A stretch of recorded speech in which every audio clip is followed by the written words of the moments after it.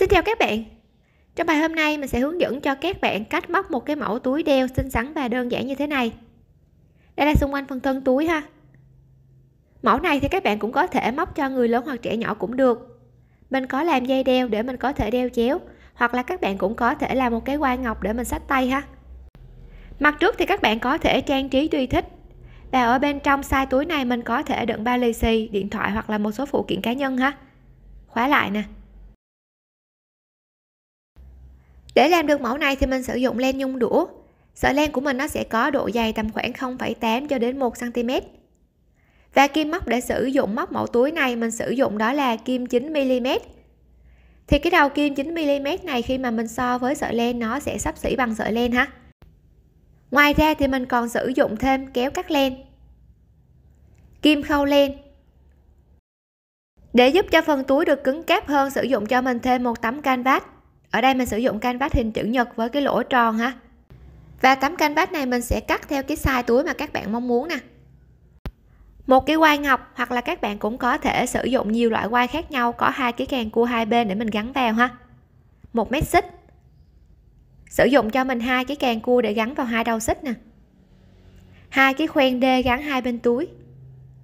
Hai khoen c để gắn mình cài quai ha. Hai cái nút hít để khóa miệng túi nè những cái kim đánh dấu này mình đã đánh dấu mũi móc ha. Và những bạn nào mà muốn cho phần túi của mình sạch sẽ thì sử dụng cho mình thêm lớp lót, kim và chỉ khâu tay bình thường. Các cái kẹp kim như thế này, hoặc các bạn cũng có thể sử dụng nhiều loại kẹp để mình cố định được vải lót ha. Đầu tiên các bạn sẽ tạo cho mình một nút. Móc và kéo len qua vòng tròn, sau đó kéo sợi len dài để thành một nút khi có được một nút rồi, tùy vào cái bề ngang túi mà các bạn mong muốn thì các bạn sẽ móc lên cho mình cái xích bằng với cái bề ngang đó. Đối với size này mình sẽ móc lên tổng cộng là 16 mũi móc xích. 1 2 3 4 5 6 7 8 9 10 11 12 13 14 15 và 16 như vậy là ta sẽ có được cái ờ, bề ngang của thân túi nè. Đây. Cái bề ngang này các bạn cũng có thể canh chỉnh tùy thích ha. Khi đã có cho mình được bề ngang của thân túi rồi, móc lên hai mũi móc xích. Sau đó móc vào chân móc thứ 16 một mũi kép đơn đối với những bạn nào mà không có để ý được mũi móc á, thì khi móc cái mũi đầu tiên sử dụng cho mình kim đánh dấu và đánh dấu vào cái chân của mũi đầu tiên ha. Sau đó làm tương tự cho các chân móc còn lại cho đến cuối hàng. Mỗi chân móc các bạn cứ móc cho mình một mũi nửa kép vào mỗi chân móc là được.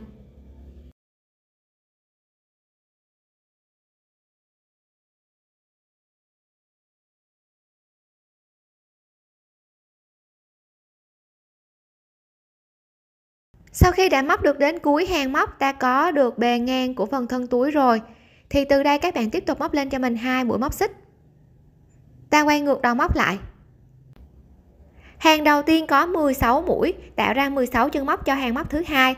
Thì hàng móc thứ hai các bạn sẽ móc cho mình mỗi chân làm một mũi nửa kép. Đây là chân đầu tiên ha. Cũng đánh dấu cho mình vào cái chân móc của mũi nửa kép đầu tiên nè sau đó mình sẽ tiếp tục móc tương tự cho các chân móc còn lại cho đến cuối hàng móc. Mỗi chân móc ta cũng móc một mũi nửa kép vào mỗi chân móc.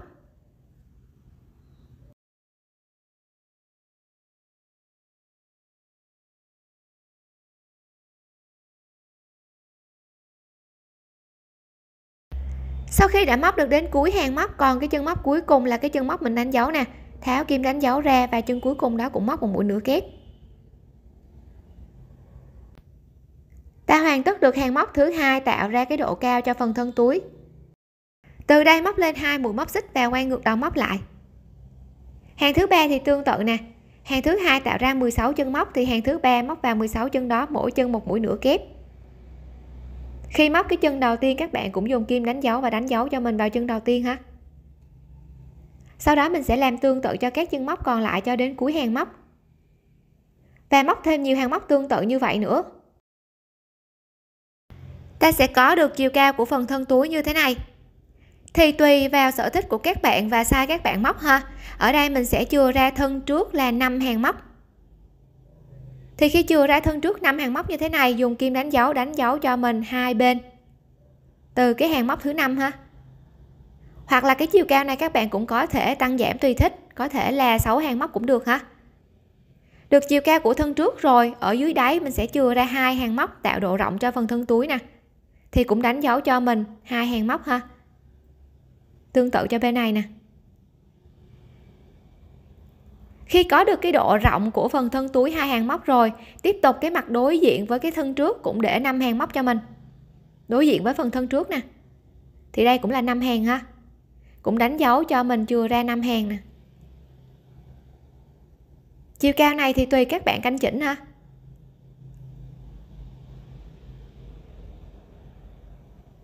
Khi chừa ra được 5 hàng tạo cái phần thân sau rồi, tiếp tục tạo một cái khoảng độ rộng nè, hai hàng móc. Và còn lại ba hàng móc là cái phần nắp ở phía trước ha. Thì cái phần thân túi của mình khi gặp lại nó sẽ như thế này. Năm hàng thân trước nè. Hai hàng tạo độ rộng. Năm hàng thân sau. Gặp lại. Tiếp tục là hai hàng để mình tạo độ rộng. Và ba hàng còn lại của mình sẽ là cái phần nắp. Đây, ta sẽ có được phần thân túi như thế này thì sau khi mình đã hoàn tất được cái khung túi như thế này rồi, các bạn tiếp tục sử dụng cho mình tấm canvas và mình sẽ cắt cái tấm canvas đó bằng với kích thước của cái tấm mà mình vừa móc được nè. Khi mà mình ướm vào thì nó sẽ nằm gọn ở bên trong của cái tấm mà mình vừa móc ha. Bây giờ mình sẽ tiến hành khâu. Thì trước khi khâu nè, mình hoàn tất cái phần thân dưới rồi, các bạn sẽ cắt cho mình một đoạn len vừa đủ dài. Và để cho len mình không bị thiếu, các bạn sẽ canh cho mình bằng với bốn cái đường của cái tấm canvas và chừa thêm một đoạn nữa. Để mình có thể khâu ha.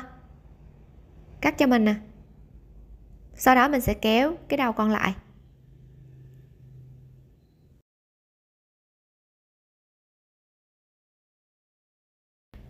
Sử dụng cho mình kim khâu, mình sẽ xỏ cái sợi len vào trong kim khâu nè.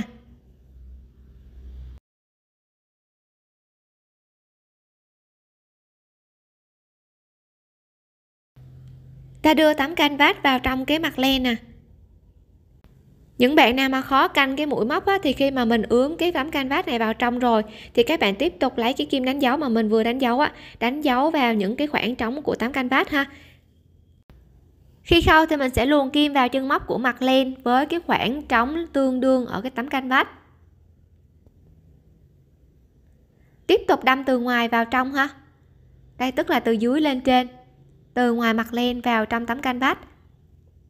Vào cái lỗ tương ứng ha. Thì cái khoảng cách giữa các cái mũi khâu ở trong tấm canvas nó có thể cách nhau là hai hoặc là ba lỗ ha. Ở đây mình sẽ cách hai lỗ là một chân nè. Đây, ta sẽ khâu lại. Tiếp tục nè. Đâm kim từ ngoài mặt len vào trong tấm canvas. Cũng chưa ra hai cái lỗ của tấm canvas ha cứ đâm kim tương ứng cho mình là được, do cái sợi len của mình nó có cái độ dày á. Nên nó sẽ che đi cái khoảng mà mình à, chừa ra. Các bạn sẽ khâu lần lượt tương tự cho mình cho đến hết ha.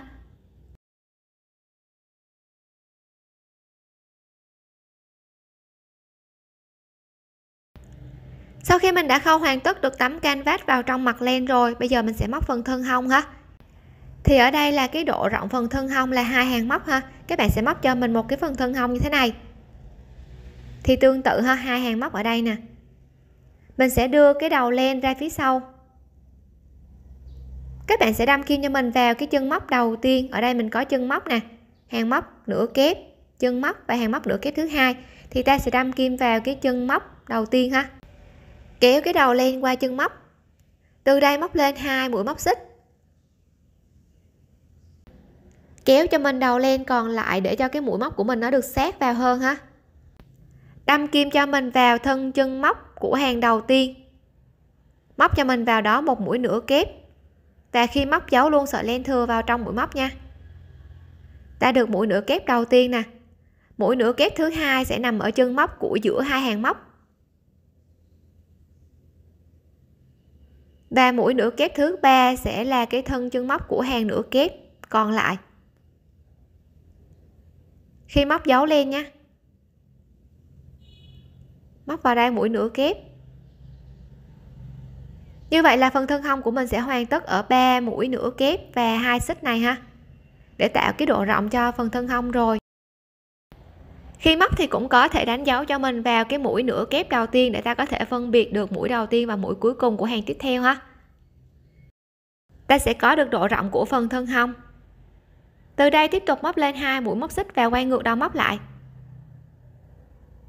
Hàng đầu tiên có 3 mũi nửa kép tạo ra 3 chân cho hàng thứ hai. Thì ba chân móc đó, mỗi chân các bạn sẽ móc cho mình một mũi nửa kép vào mỗi chân móc. Đây là chân đầu tiên ha, móc một mũi nửa kép vào chân đầu tiên. Tiếp tục chân thứ hai cũng móc mũi nửa kép. Và chân thứ ba là cái chân móc ta đánh dấu á, cũng là chân cuối cùng ha, móc một mũi nửa kép như vậy là ta cũng có được 3 mũi nửa kép tạo độ rộng cho hàng thứ hai. Tiếp tục các bạn móc lên hai mũi móc xích và quay ngược đầu móc lại. Hàng tiếp theo thì làm tương tự cho mình cho đến khi mình có tổng cộng là 5 hàng móc, hoặc là những bạn nào mà tăng giảm sai ở phần thân trước mình chừa ra bao nhiêu hàng, thì ở phần thân hông mình sẽ móc lên bấy nhiêu hàng móc ha. Mình sẽ có 5 hàng cho phần thân hông nè khi hoàn tất các bạn sẽ cắt cho mình một đoạn len vừa đủ dài để mình khâu phần thân hông vào trong thân trước. Đây, khi gặp lại cái phần thân túi nè, thì 5 hàng móc ở phần thân hông, ép với 5 hàng móc ở hai bên thân trước sau. Ta sẽ có được phần thân túi như thế này. Và để tiện cho việc gắn cái khóa, các bạn sẽ gắn cho mình hai cái khoen C trước để ý ở trên phần thân túi, mình có chừa ra hai hàng móc, sau đó là ba hàng ở phần nắp ha. Thì hai cái hàng móc này nè. Đây là cái phần thân hông ha. Thì phần thân hông khi gặp lại với phần thân sau, nó nằm ở vị trí này, năm hàng móc nè. Thì còn ra hai hàng móc tiếp theo sẽ là cái khoảng mình tạo độ rộng. Sử dụng cho mình hai khoen C và mình sẽ gắn ở hai hàng móc đó ha. Các bạn sẽ đâm cho mình hai cái đầu của khoen C ra phía sau tấm canvas. Sau đó mình sẽ khóa lại ở phía sau nè canh chỉnh cho mình cho khoen xê được đều và thẳng ha. Và mình sẽ khóa cái uh, đường G ở phía sau lại.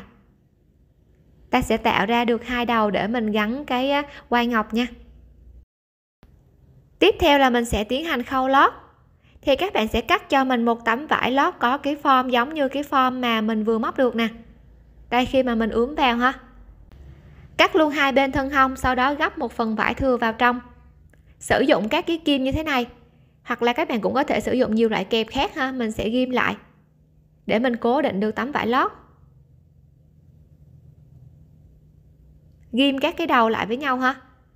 Sau đó mình sẽ căng phẳng cho cái tấm vải lót của mình nó được căng hơn. Ta sẽ sử dụng kim và chỉ khâu tay bình thường. Khi khâu thì các bạn sẽ khâu cho mình vào các cái khoảng trống của tấm canvas với cái đường khâu tương ứng ở tấm vải lót ha khâu đến mặt thân hông cũng vậy, cũng gấp cho mình một đoạn vải thừa và mình sẽ khâu tương ứng. Như vậy là mình sẽ hoàn tất được cái phần khâu lót ở bên trong, giúp cho phần thân túi của mình được sạch sẽ hơn. Tháo các cái kim ra ha. Tính từ cái hàng móc sát với cái phần mà mình gắn khoen C nè, có hai cái chân móc mình đánh dấu, thì bây giờ mình sẽ tiến hành khâu để mình hoàn tất được form túi ha. Tiếp tục gắn kim khâu len vào trong cái sợi len và mình sẽ tiến hành khâu các bạn sẽ khâu cho mình vào các cái đường móc tương ứng.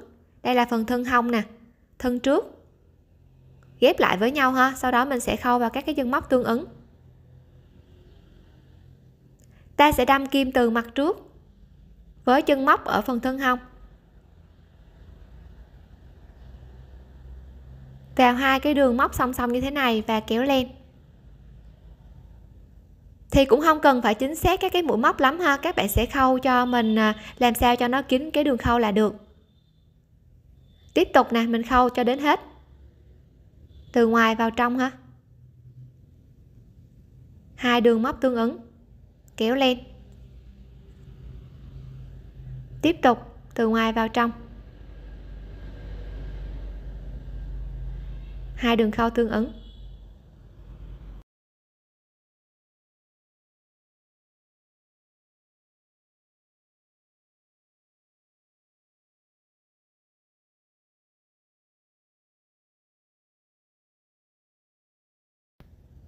Khi mình khâu đến phần đáy để tiện cho cái việc không có cái sợi len thừa nhiều thì các bạn sẽ luồn cho mình cái sợi len này qua cái phần thân hông bên cạnh.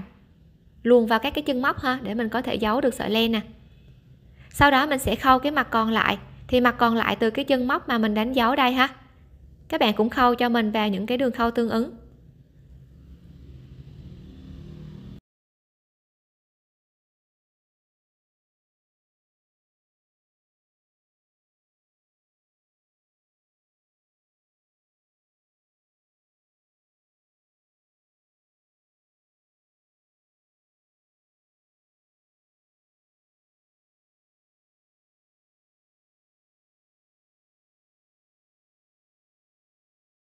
Khi khâu hoàn tất rồi tiếp tục mình sẽ khâu hai cái khoen d ở bên trên thân hông. Thì các bạn sẽ khâu cho mình hai khoen d vào trong cái đường khâu tương ứng luôn ha.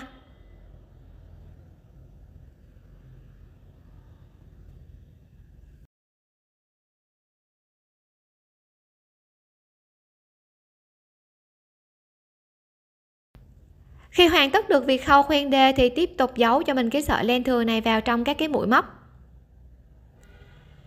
các bạn sẽ đâm kim cho mình vào các cái chân móc ở hàng phía dưới và mình giấu len, sau đó khâu phần còn lại.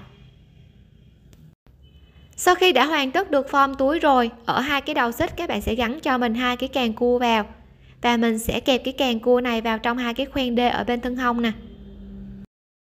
Sau đó tiếp tục gắn cho mình hai cái nút hít ở hai bên nắp và thân trước. Khi gắn thì nhớ canh chỉnh khoảng cách giữa các cái nút hít ha cái khoen C ở phía trước mình có thể gắn thêm cái dây quai ngọc để mình có thể xách tay nè. Kích thước size túi này mình có thể để bao lì xì, điện thoại hoặc là một số phụ kiện cá nhân vào bên trong và cũng có thể tăng giảm size để phù hợp cho cả người lớn lẫn trẻ nhỏ ha. Và để trang trí cho phần thân trước, các bạn có thể móc hoa hoặc là gắn những sticker nhỏ như thế này cho phần thân túi của mình có điểm nhấn hơn. Mẫu này thì các bạn cũng có thể đeo chéo, đeo một bên vai hoặc là xách tay cũng được khi thực hiện mẫu túi này mà có điểm nào thắc mắc thì các bạn có thể để lại bình luận bên dưới để mình giải đáp thắc mắc ha. Chúc các bạn thành công!